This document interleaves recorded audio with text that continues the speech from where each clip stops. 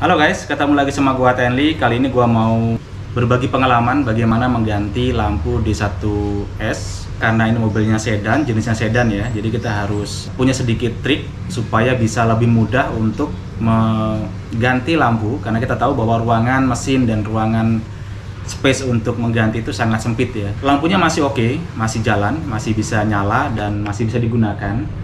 Mungkin kalau misalkan menurut gua sendiri gitu ya, kalau misalkan gua compare sama yang uh, eh, LED gitu lampu ini cukup redup karena masih menggunakan lampu bawaan pabrik jadi warnanya agak kekuningan putih kekuningan gitu. Pada kesempatan kali ini gua mau ganti lampu gua karena ada beberapa hal. Yang pertama adalah karena kaca depan mobil gua itu sudah dikasih kaca agak sedikit gelap gitu sehingga lampu standar itu agak kelihatan agak gelap. Kalau misalkan dilihat dari dalam mobil tapi kalau misalnya kita keluar mobil, itu sebenarnya terang gitu. Terang standar lah, terang gitu ya, yang dapat kita gunakan untuk menerangi jalan pada waktu kita sedang berjalan menggunakan mobil. Cuman kalau misalkan dari dalam mobil itu kelihatan kayak gelap gitu. Maka di sini gue mau coba untuk mengganti lampu tersebut dengan lampu yang lebih putih. Gue pengennya lebih putih sedikit. Karena gue akan menggunakan yang 6000 Kelvin. Jadi gue yakin itu nggak terlalu putih. Eh, masih bisa untuk menerangi dengan baik gitu. Kecuali kalau misalkan di atas 6000 ya misalkan eh, 8000 atau mungkin yang lebih tinggi gitu itu pasti akan kelihatan karena benar-benar putih gitu. Gua pakai yang 6000 Kelvin. Gua harapin sih supaya bisa agak sedikit kuning, nggak terlalu putih banget gitu ya, tapi masih bisa uh, nyaman ketika digunakan. Dan gua mau pakai Philips. Ini dia. Jadi Philips D1S ini xenon uh, karena bawaan mobil gue juga xenon gitu ya. Dia 35 watt sama dengan bawaan dari mobilnya kemudian dia menggunakan 85 volt. Jadi kalau misalkan lihat dari sini gambarnya gitu ya. Ini kelihatan kalau standar seperti ini kalau dia pakai yang ini pakai yang Philips dia akan lebih kelihatan lebih jauh gitu range-nya. Jadi tadi yang seperti yang gue bilang bahwa mobil yang gue pakai itu dia terang tapi cukup pendek gitu jaraknya. Jadi terlalu pendek untuk terangnya ya. Jadi kalau misalkan gue ngeliat agak jauh gitu kalau lagi kenceng itu kayak e, berpikirnya agak sedikit susah. Makanya gue pengen berganti pakai Philips yang D1S ini yang 6000 Kelvin pure white Ultinon HID. Ini desain by Germany. Gue nggak tahu ini made in Germany apa enggak, tapi kalau misalkan dari tulisannya itu dia made in Germany ya di sini. Dan ini kalau misalkan gue lihat, ini kalau compare dengan uh, yang sejenis, barang yang sejenis gitu, ini kayaknya kemasan yang lama kalau dari bentuknya gitu ya. Karena ada kalau misalkan gue lihat di tempat lain itu udah ada kemasan yang baru dan harganya lebih mahal. Dan ini cukup menarik buat gue untuk gue beli gitu untuk coba di mobil gue karena gue pengen tahu dulu apakah harapan gue gitu ya harapan gue untuk menggunakan lampu yang lebih terang. Untuk lihat kita coba buka ya guys. Ini kemarin udah gue buka ininya segelnya. Jadi tinggal nah ini kita buka Nah di sini ini ada garansi tiga tahun ya guys, jadi cukup uh, reliable kalau misalkan kita beli yang ini. Kemudian di sini ada kode yang bisa kita cek di websitenya Philips.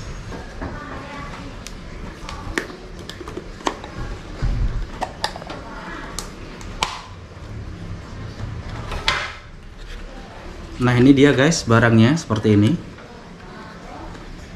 Gue coba lepas satu ya. Nah, di sini ini mereknya Philips.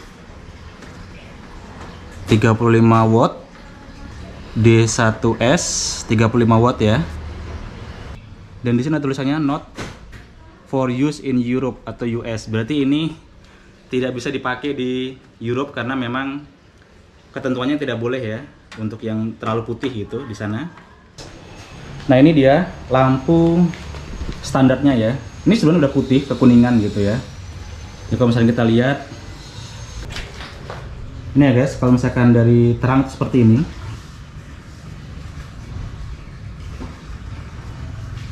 jadi nggak begitu kelihatannya karena terang ya guys. Tapi nanti malam kita coba lihat siang hari seperti ini tampilannya cukup terang sebenarnya. Nah ini dia.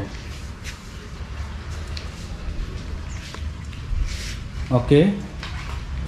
Nah kalau misalkan dari dalam seperti ini kita lihat ya dari dalam seperti apa.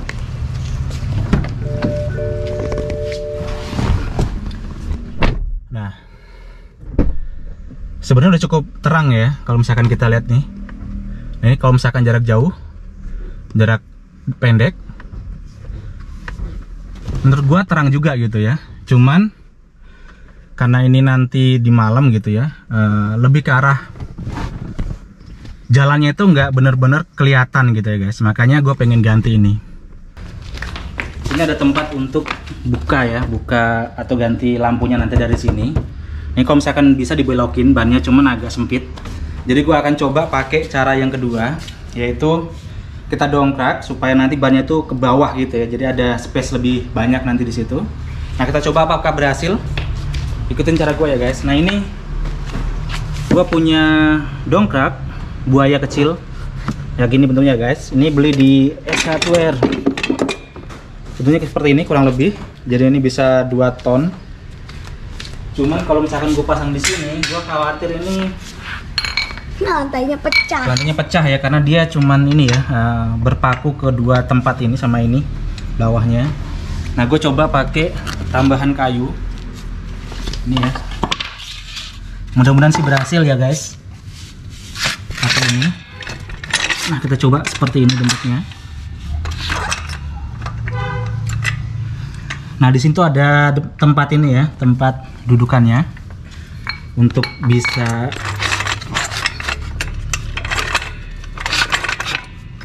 oke. Jadi gue pasang gini ya guys. Kita coba apakah ini kayunya kuat apa enggak. Kalaupun rusak nggak apa-apa ya kayunya ya guys.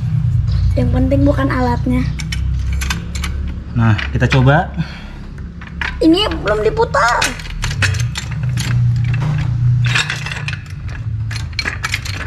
Pastikan posisinya dia di bawah ya guys. Ya ini udah mulai ngangkat.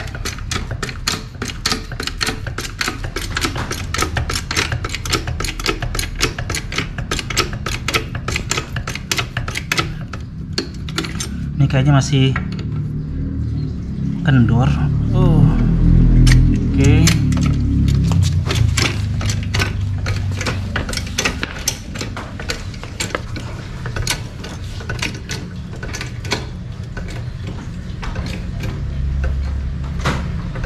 Oke mungkin segini dulu aja guys. Ini kayaknya udah cukup lebar ya untuk ini untuk buka.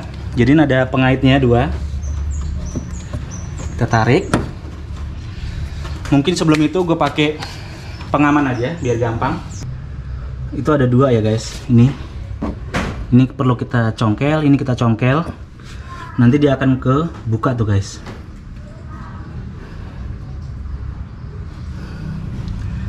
Ini lebih baik kayak gini menurut gue ya guys karena dia lebih banyak space nya jadi lebih mudah tangan kita masuk. Dibanding kalau misalkan cuma dibelokin. Maksudnya banyak cuma dibelokin gitu ya ini gua pakai sarung tangan. Jadi biar kalau ada yang tajam-tajam ya minimal mengurangi cedera ya guys. Kayak gini ya guys. Ini kita tekan ke bawah. Jadi ini udah kebuka yang satu. Nih tinggal ditekan aja ke bawah. Nah seperti ini guys tinggal di atasin nah udah keluar ya. Jadi ini posisinya mobilnya memang lagi kotor ya belum dicuci ya guys. Nah ini adalah tempat pengaman lampunya. Jadi kita putar ke kiri kayak gini. Nah ini dia barangnya ya guys. Posisi dari lampu kita yang mau kita ganti di sini. Nah ini ada pengaitnya, ini pengamannya. Nah di sini ini ada pengikat ya. Nah ini perlu kita keluarkan, kita tekan ke arah kiri. Nah seperti itu. Jadi ini kelepas ya guys. Jadi ini lebih memudahkan kita untuk mencopot ini nah dia pakai osram. Aslinya nanti kita coba lihat ya. Kemudian gua copot dulu nih kabelnya.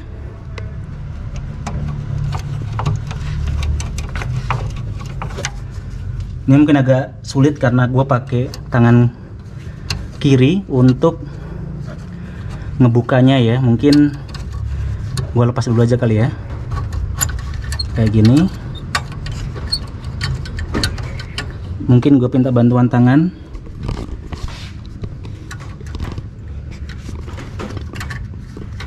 Ini agak sempit ya jadi memang harus kalau bisa ini lepas dulu ya kabelnya ya. Oke kabelnya udah lepas. Kita tinggal keluarkan lampunya nih guys nah ini dia guys lampunya. Dia tipenya ini osram dia pakai osram ya. Ini D1S 35 watt Germany. Jadi pakai osram ya guys. Jadi ini dalamnya seperti ini kita liatin dulu. Nah itu dia. Seperti ini ya jadi untuk yang mobil ini dia jenisnya 320i cuman ada satu lampu ya yang sebelah kiri itu yang tengah itu. Dia cuman ada uh, eh, DRL nya doang. Jadi nggak ada lampu yang bisa nyorot. Jadi cuman uh, pemanis saja sebenarnya kalau luar negeri itu ada yang tipe ini tapi dia pakai dua lampu yang terpisah ya. Bukan yang biseknon ini oke okay guys kita nak pasang ya ini ya. Kita mau pasang di sana. Cuman pastikan ini kan ada pengaitnya ya. Jadi nanti kabelnya itu dari bawah sini ya. Jangan sampai dia masuk ke sini. Jadi kalau masuk ke sini nanti susah ngencenginnya. Jadi yang bisa kita lakukan adalah pertama kita masukin dulu. Oke nah kita masukkan ya guys ini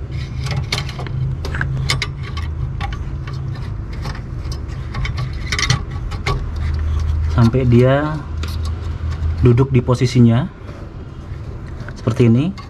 Lalu besinya kita angkat ini ya pengaitnya pengencangnya sebenarnya ini ya. Nah baru kita masukin yang kabel listriknya.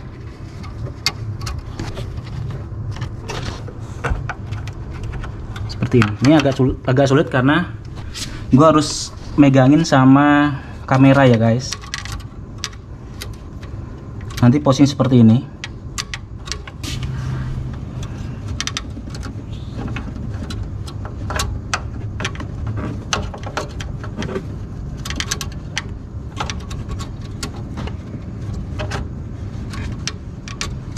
Guys nah ini udah posisinya udah di sini ya. Udah masuk. Ini tinggal gue tekan ke dalam. Oke seperti itu. Nah sekarang tinggal kita pasang pengaitnya ini pengamannya supaya dia nggak lepas ya. Ini pun sama caranya tinggal ditekan lalu kita geser ke arah kiri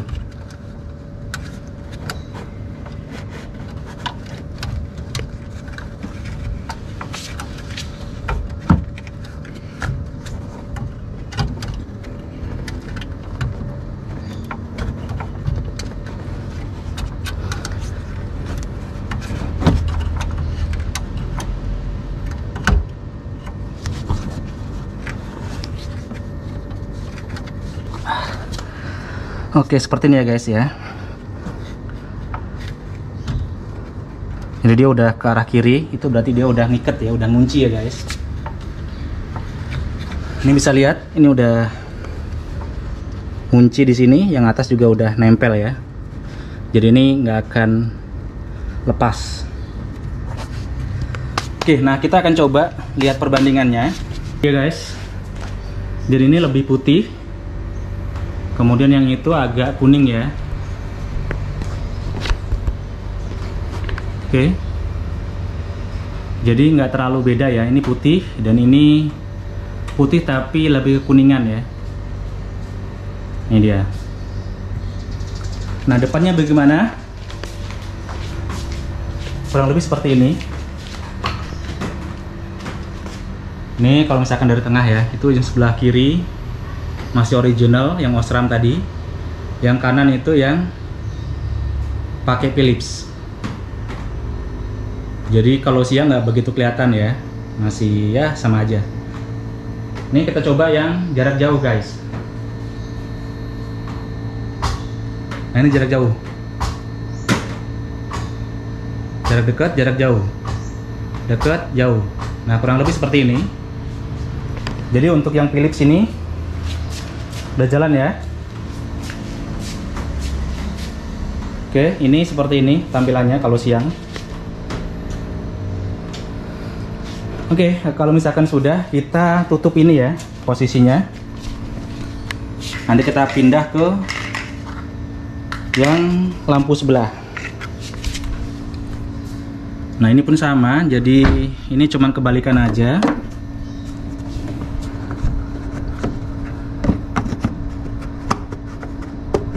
Jadi seperti ini. Oke, kemudian kita geser ya. Nah ini udah kalau sudah nggak gerak berarti udah udah apa? Udah ngunci ya. Oke, simple ya guys. Cuman uh, kalau misalkan pakai kamera emang agak sulit untuk melihat ngeliatin ini ya posisinya di mana ya. Oke, kemudian kalau sudah tinggal dibalikin ini ya uh, penutupnya. Ini juga simple caranya tinggal dimasukin bagian bawah dulu diselipin. Lalu kita kuncikan bagian atas. Ditekan dulu lalu dia kunci gini ya guys. Simple sesimpel itulah guys. Oke. Jadi posisi yang ini udah aman sebelah kanan isi driver. Oke nah ini udah dongkraknya udah ini ya udah ke bawah.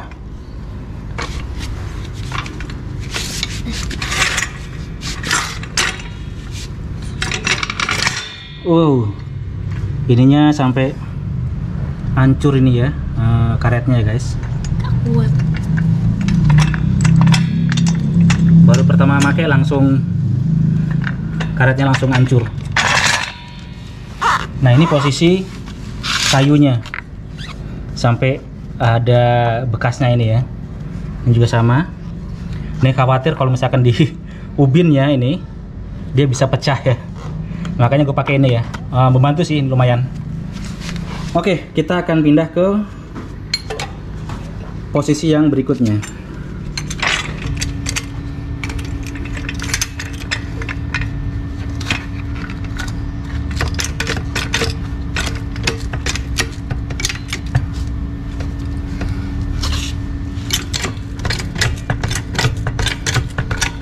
Nah, dilihat ini.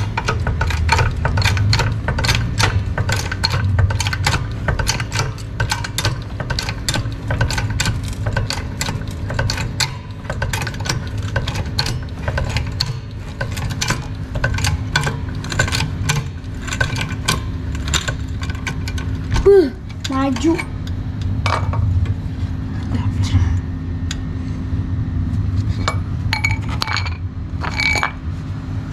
Oke guys, kita eksekusi yang kedua. Caranya sama. Ini Buh, muncrat.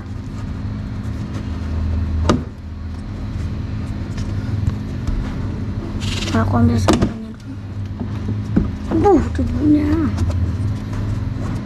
sama caranya ya guys ya, tinggal diputar ke kiri. Seperti ini. Nah, udah kebuka tuh. Oke.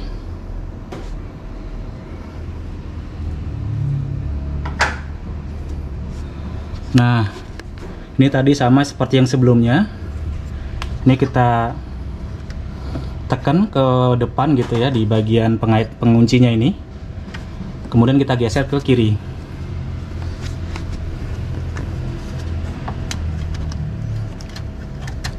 Ya, seperti itu ya. Jadi udah lepas. Oke, ini udah kelepas.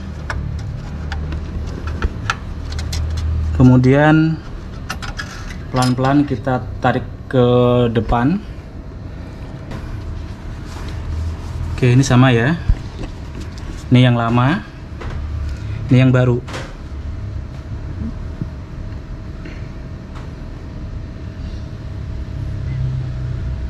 Sama-sama 35 watt ya guys. Jadi nggak nambahin nggak ngurangin. Supaya aman aja. Ini tadi gue ingetin ini untuk penguncinya pengaitnya. Jadi pastikan ini usahakan ini yang paling atas posisinya ya. Nah ini ini udah pasti uh, ngunci sini. Kita masukin posisinya seperti ini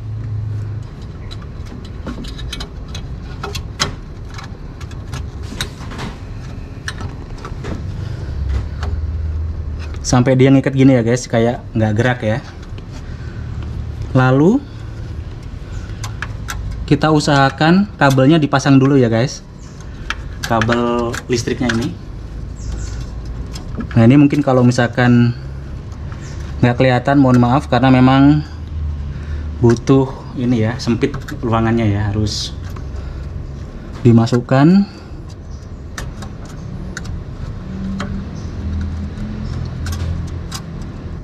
Oke, jadi usahakan nanti masangnya seperti ini kabelnya itu di bawah dari pengait ini ya guys, supaya nanti dia ketekan. Nah ini usahakan dia ditekan sampai mepet ya, seperti ini. Jadi posisi kabel penghubung itu dia mepet, nggak ada jarak ya, nggak ada jeda. Nah kalau sudah, tinggal kita ngunci nih. Kalau tadi kita geser ke kiri berarti di sini kita geser ke kanan.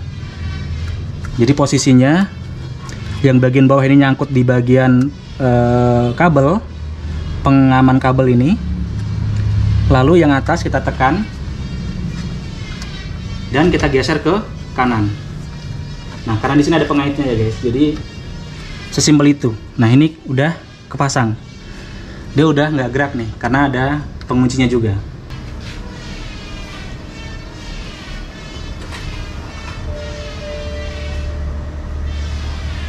Nah, dia udah nyala.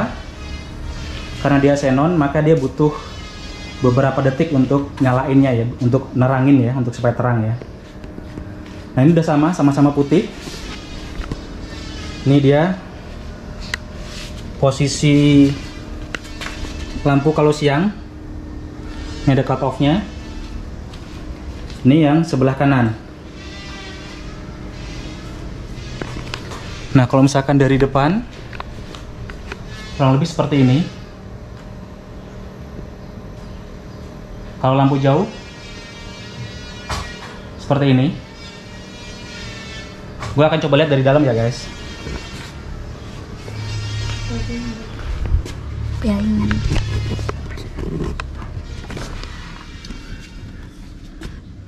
ini. Kalau misalkan dia tuh, mas,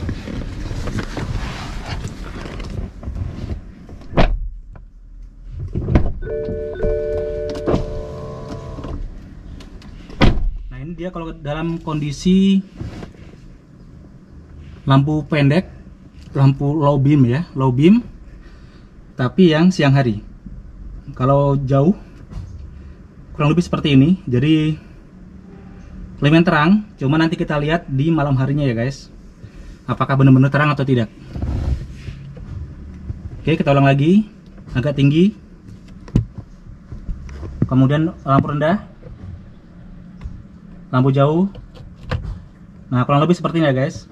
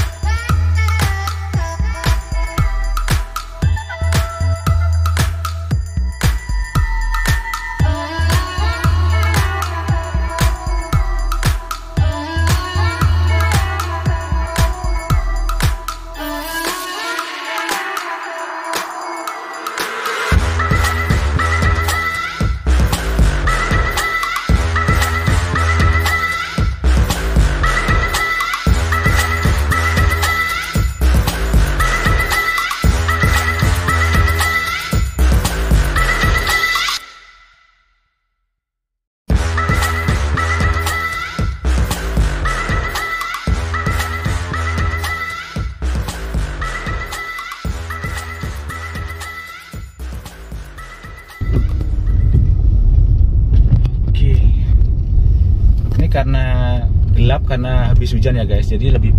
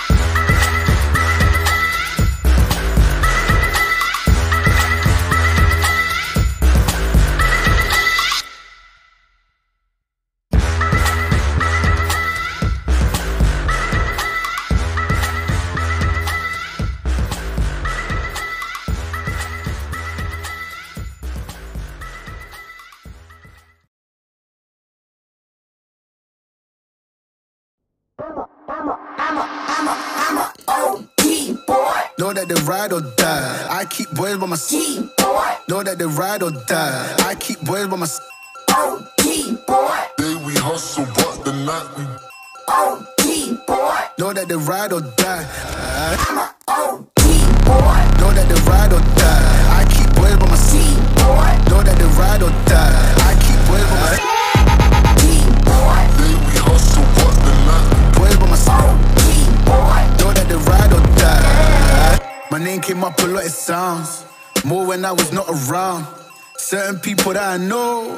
They ain't no longer about. My name came up a lot, it sounds more when I was not around. Certain people that I know, they ain't no longer about. My name came up a lot, it sounds more when I was not around. Certain people that I know, they ain't no longer about. My name came up a lot, it sounds more when I was not around. Certain people that I know, Know that they ride or die. I keep boys by my side. Know that they ride or die. I keep boys by my side. OG oh, boy. Day we hustle, but the night we OG oh, boy. Know that they ride or die. I'm a OG boy. Know that they ride or die. I keep boys by my side. Know that they ride or die. I keep boys by my side.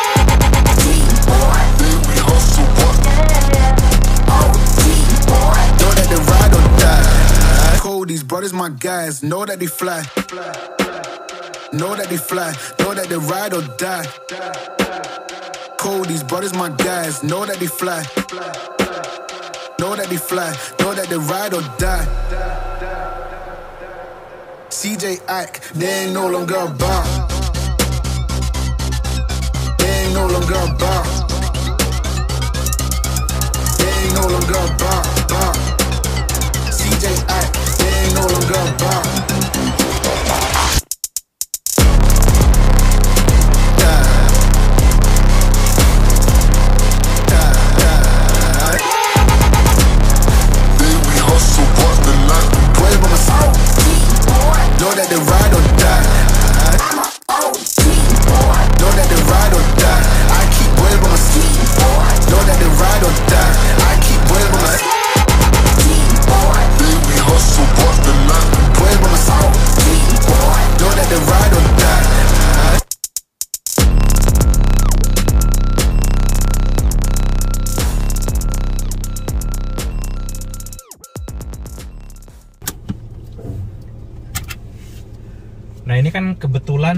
habis hujan ya, jadi banyak kabut. Jadi kalau misalnya kita lihat ya agak sedikit berasap gitu.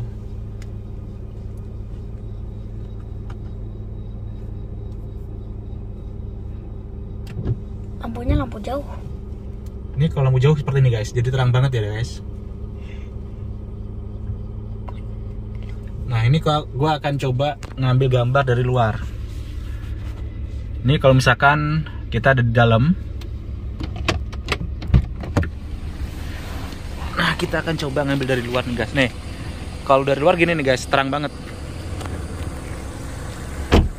Cuman karena berhubung habis hujan banyak kabut nih guys ya tuh guys banyak kabut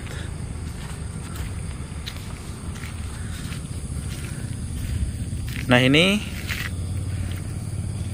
lampunya jadi cukup terang ya jadi ini tanpa lampu jauh ya ini udah putih banget udah terang banget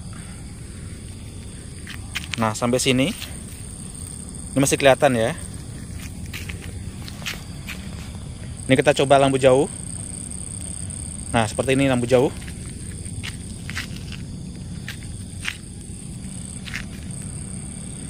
Sekali lagi ya, lampu jauh ya. Tuh. Mungkin karena apa namanya? Karena ada ada ini ya guys ya, karena ada em, kabut ini, masih banyak kabutnya nih. Lihat kalau misalnya kita lihat nih. Nah ini kelihatan dari luar kurang lebih seperti ini kalau dari depan ya depan kaca. Nah gue masuk lagi.